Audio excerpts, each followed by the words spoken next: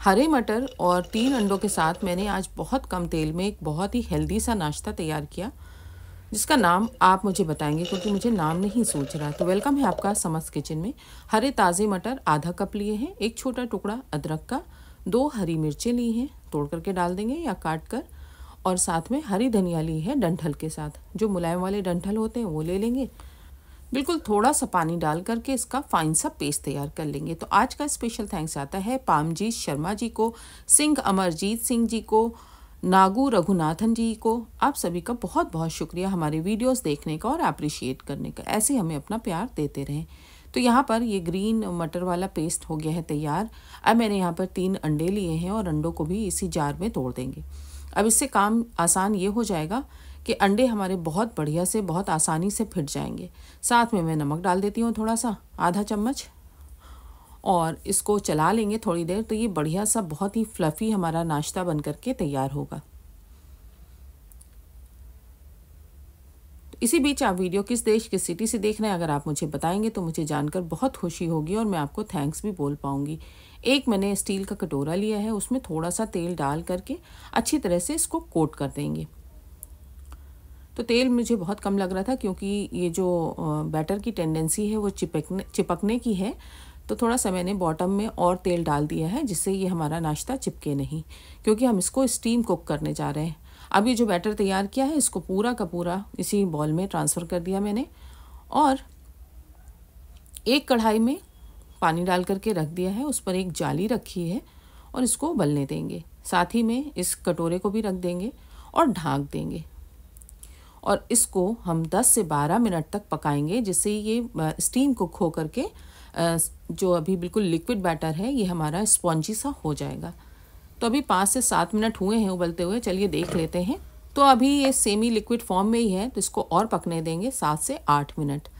और तब तक यहाँ पर मैंने एक दूसरा पैन लिया है और इसमें एक टेबल स्पून चम्मच तेल डाला है। बहुत थोड़े से तेल की ज़रूरत है। तेल के गर्म होते ही एक चम्मच ज़ीरा, आधा चम्मच काली सरसों के दाने, दस बारह ये हैं करी पत्ते। इनको थोड़ी देर चटकने देंगे, बढ़िया से खुशबू आने लगी है। अब इसमें एक बड़ी साइज़ की प्याज जिसको बारीक कट करके लिया है, इसको फ्राई करेंगे। तो प्याज को सिर्फ़ हमें ट्रांसलूसेंट होने तक ही फ्राई करना है, बहुत ज़्यादा पकाने की ज़रूरत नहीं है। और अब इसके साथ ही मैंने यहाँ पे दो मीडियम साइज़ के टमाटर लिए थे, उनको भी बारीक चॉप कर लिया है और टमाटर के साथ भी प्याज को पका लेंगे। एक मिनट भूनने के बाद इसमें डाल देंगे एक चौथाई चम्मच हल्दी पाउडर आधा चम्मच कुटी हुई लाल मिर्च पाउडर नमक, आधा चम्मच से थोड़ा ज़्यादा और डाला है और अब इन सब चीज़ों को मिक्स करते हुए पका लेंगे। एक मिनट तक चलाते हुए पकाएँगे। और जैसे ही हल्दी का कच्चापन चला जाएगा, इसमें थोड़ा सा पानी डाल करके इसको धीमी आँच पर गलने के लिए रख देंगे, जिससे टमाटर प्याज अच्छी तरह से सॉफ्ट हो जाए। बस, अब यहाँ पर हम चेक करेंगे आँच को अभी धीमा रखना है और इधर चेक कर लेते हैं कि ये जो हमने मटर का बैटर डाला था, ये सही पका के नहीं पका।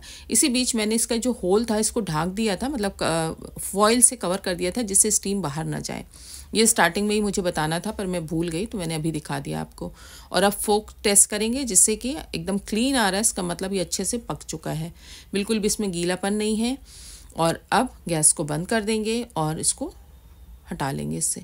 अब क्योंकि मेरे पास पेशेंस नहीं होता चीज़ों को अपने आप करने के लिए तो मैंने जल्दी से इसको ठंडा करने के लिए पानी में रख दिया, जिससे बॉल ये ठंडा हो जाए, क्योंकि ठंडा अगर नहीं होगा तो फिर ये आसानी से नहीं निकलेगा और चिपक के टूट सकता है। तो नीचे से ये ठंडा हो रहा है। आजकल वैसे भी ठंड है, चीज़ें जल्दी हो जाती हैं ठंडी। और अब इसको हम पलट कर देखेंगे। तो ये देखें, मटर और एग केक बन करके तैयार हो गया है। कितना क्यूट लग रहा है कलर इतना बढ़िया आया है और इसको हम कट कर लेंगे। तो जितने बड़े या छोटे पीस आप करना चाहें, उतना बड़ा बना सकते हैं इसको। और ये देखिए, कितना सॉफ्ट एंड स्पॉन्जी है। मैं अभी आपको दिखाती हूँ।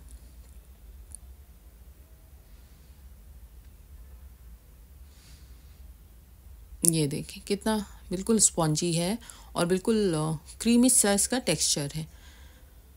तो बस यहाँ पर टमाटर और प्याज भी अब गल गए हैं। अगर थोड़े बहुत चंक्स रह गए हैं तो उसको हम थोड़ा सा मैश करते हुए मिला देंगे। और अब इसमें ये सारे पीसेस को डाल देंगे। तो है ना ये कमाल का आइडिया बहुत ही ज़बरदस्त ये नाश्ता बन करके तैयार हुआ। मेरी फैमिली ने सबने बहुत शौक से खाया, स्पेशली मेरी छोटी बेटी और उसको बहुत पसंद आती हैं नई नई चीज़ें। तो बस मिलाने के बाद इसको सिर्फ़ एक मिनट के लिए ढाँक करके धीमी आँच पर रख देंगे और पका लेंगे। तो एक मिनट के बाद थोड़ा सा हरा धनिया डाल देंगे, मिक्स करेंगे। हल्के हाथों से चलाइएगा इसको, क्योंकि ये बहुत सॉफ्ट हैं। और बस मिलाने के बाद आप इसको गर्मा गर्म सर्व करें। किसी भी अचार या सॉस के साथ अपने पसंद के खाएँ और मुझे इसके लिए एक बढ़िया सा नाम ज़रूर सजेस्ट करें, क्योंकि मुझे पता है आप लोग बहुत क्रिएटिव हैं और बहुत अच्छे अच्छे नाम सजेस्ट करते हैं। तो बस, देखते रहिए समस किचन, ऐसी ही मज़ेदार और बहुत आसान रेसिपीज़ के लिए, पर जाने से पहले इस रेसिपी को रेट ज़रूर करिए, जिससे मुझे पता चलेगा आपकी पसंद और नापसंद का, और आपका फीडबैक हमारे लिए बहुत इंपॉर्टेंट होता है। तो ये काम ज़रूर किया करें। देखते रहिए समस kitchen. Thank you so much